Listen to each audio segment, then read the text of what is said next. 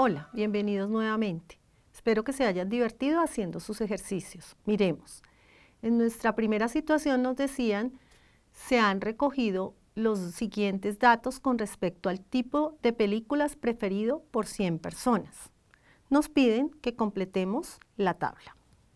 Entonces recordemos que la frecuencia relativa la podemos representar en forma de fracción, en forma decimal y en porcentaje. Para representarla en forma de fracción, tomamos el total de la frecuencia absoluta, que en este caso es 15, y lo dividimos entre el total de personas encuestadas, que en este caso fueron 100. Entonces nos daría 15 centésimos. Si eso lo vamos a expresar de forma decimal, recordemos que debemos dividir 15 entre 100. Y para dividir 15 entre 100, corremos la coma dos lugares hacia la izquierda. Recordemos que la coma la tenemos acá. Entonces, si la corremos un lugar y dos lugares, nos daría 0,15. Si lo representamos en forma de porcentaje, recordemos que debemos multiplicar por 100, que nos daría el 15%. Para la película de preferencia drama, la frecuencia absoluta es 8. Su frecuencia relativa en fracción la representaremos como 8 centésimos que si dividimos 8 entre 100, corremos la coma dos lugares hacia la izquierda y nos daría 0,08 que corresponde al 8%. En comedia la frecuencia absoluta es 52, la frecuencia relativa en forma de fracción sería 52 sobre 100, en forma decimal 0,52 y en porcentaje 52%. Para las películas de acción, frecuencia absoluta 12, la frecuencia relativa en forma de fracción nos daría 12 sobre 100, que corresponde en forma decimal a 0,12 y en porcentaje al 12%. Para las películas de terror, en frecuencia absoluta tenemos 3. Entonces, si lo vamos a representar como frecuencia relativa, en forma de fracción escribiremos 3 sobre 100, en forma decimal 0,03 y como porcentaje nos daría el 3%. Y para las personas que no les gusta el cine, que corresponden a 10, la frecuencia relativa en forma de fracción nos daría 10 sobre 100, que corresponde en forma decimal a 0,10 y en porcentaje nos representaría el 10%. Recordemos que la suma de todas las frecuencias relativas en forma de fracción nos debe dar 1, la suma de la frecuencia relativa en forma decimal nos debe dar 1 y el total de porcentaje nos debe dar el 100%. Como vemos, aquí tenemos nuestra tabla de manera organizada. Con base en esta tabla, contestemos las siguientes preguntas. ¿Qué porcentaje de personas encuestadas prefieren algún tipo de película? Nos están hablando de porcentaje, quiere decir que nos tenemos que ubicar acá nos dicen prefieren algún tipo de película. Como vemos, al 10% no les gusta el cine. Quiere decir que las personas que prefieren algún tipo de película sería 100 menos los que no les gusta el cine, que serían 10, correspondería a un 90%, que es la suma del el porcentaje de suspenso, de drama, de comedia, de acción y de terror nuestra siguiente pregunta. ¿Qué tipo de película representa el 12% de preferencia? Entonces nos ubicamos en porcentaje, miramos el 12% que corresponde a las películas de acción. Entonces, el tipo de película que representa el 12% de preferencia son las películas de acción. En nuestra siguiente pregunta, ¿qué decimal representa el total de personas que prefieren las películas de terror? Entonces nos están diciendo decimal, nos ubicamos acá, películas de terror, entonces vemos que el decimal que lo representa es 0,03. En nuestro siguiente ejercicio nos piden retomar la tabla de las estaturas que habíamos trabajado en la clase anterior y elaborar la tabla con las frecuencias relativas. Entonces recordemos, para sacar la frecuencia relativa en forma de fracción, dividimos la frecuencia absoluta, que en este caso es 7, sobre el total de datos, que en este caso fueron 20. Y si lo vamos a representar en forma decimal, realizamos la división de 7 entre 20, nos daría 20 entre 7 no está, 0 al cociente, coloco coma y agrego 0. 20 por 3, 60, nos daría 10, agregamos 0. Y 5 por 20 nos daría 100. Entonces quiere decir que 7 veinteavos representado en forma decimal nos daría 0,35.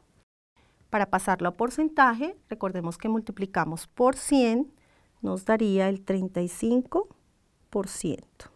Hacemos el mismo proceso para la frecuencia absoluta 2, que corresponde al número de personas que miden 121 centímetros. Representada la frecuencia relativa en forma de fracción nos daría 2 veinteavos. En forma decimal realizamos la división, 2 dividido 20, 0 al cociente, coloco coma y agrego 0, 1 por 20, 20. Nos daría 0,1 que corresponde en forma de porcentaje al 10%. Y asimismo sacamos la frecuencia relativa para las demás estaturas. Y tendríamos para frecuencia absoluta 3, la frecuencia relativa en forma de fracción nos daría 3 veinteavos, que en forma decimal corresponde a 0,15 y en porcentaje corresponde al 15%. Para la frecuencia absoluta 4 nos daría la frecuencia relativa en forma de fracción 4 veinteavos que corresponde en forma decimal a 0,2 y en porcentaje corresponde al 20%. Para la frecuencia absoluta 1, la frecuencia relativa en forma de fracción la expresamos como un veinteavo. En forma decimal nos daría 0,05 que corresponde al 5%. Y la 3, la frecuencia absoluta 3, ya la tenemos también en la estatura de 122 centímetros. Entonces la frecuencia relativa como fracción nos daría 3 veinteavos, en forma decimal 0,15 y en porcentaje el 15%. Recordemos que la suma de todas las fracciones nos debe dar 1, de la parte decimal nos debe dar 1 y del porcentaje el total debe corresponder al 100%. En nuestro siguiente ejercicio nos piden completar la tabla sobre las materias preferidas y responder algunas preguntas. Entonces, completemos la tabla. Las materias preferidas, español, sociales, ciencias, matemáticas y educación física. Para español tenemos una frecuencia absoluta de 4. Podemos decir que su frecuencia relativa en forma de fracción sería la frecuencia absoluta, que es 4, sobre el total, que en este caso ya lo tenemos acá, en la frecuencia relativa en forma de fracción en sociales. Acá nos damos cuenta que es 40, entonces sería 4 cuarentaavos y ya podemos completar esta casilla del total que sería 40. Como tenemos la frecuencia relativa en forma decimal de 0,1, en forma de porcentaje multiplicaríamos por 100 y nos daría el 10%. Para sociales tenemos que la frecuencia relativa es 6 cuarentaavos y que el porcentaje es 15%. Quiere decir que su representación decimal para la frecuencia relativa sería de 0,15. Para ciencias nos dieron solamente las frecuencias relativas, pero recordemos que la frecuencia relativa en forma de fracción nos representa la frecuencia absoluta sobre el total, quiere decir que la frecuencia absoluta de ciencia sería 8.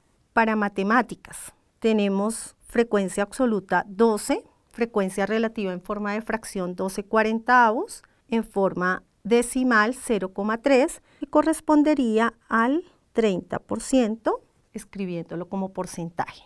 Educación física, vemos que la frecuencia relativa en forma de fracción nos representa la frecuencia absoluta sobre el total, en este caso la frecuencia absoluta sería 10. Y en forma decimal nos daría 0,3 25 que corresponde al 25%.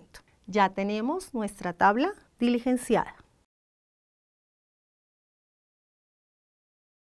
Ahora respondamos las preguntas con base en esa tabla. Determine la materia que menos prefieren los estudiantes.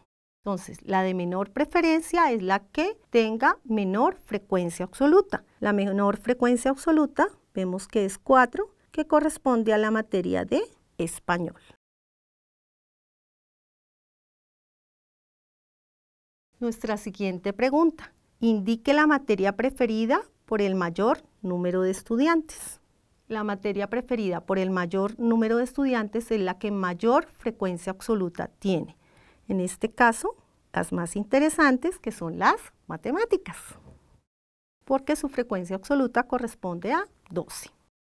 Nuestra siguiente pregunta.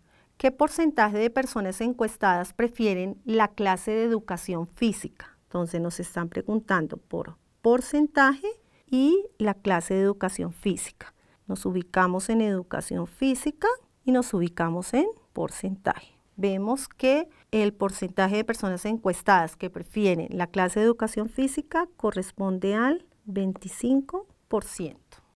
Nuestra siguiente pregunta. ¿Qué decimal representa el total de personas que prefieren sociales? Decimal y la materia de sociales. Sociales está representado su frecuencia relativa en forma decimal como 0,15. Nuestra siguiente pregunta. ¿Cuál es la materia en que las directivas del colegio deben prestar mayor atención para mejorar la aceptación por parte de los estudiantes? ¿Qué nos están queriendo decir? Que es la materia que menos prefieren los estudiantes. Vemos que la de menor frecuencia absoluta es la materia de español, que solamente la prefieren cuatro estudiantes. Y esto es todo por hoy. Continúen practicando los ejercicios de su guía.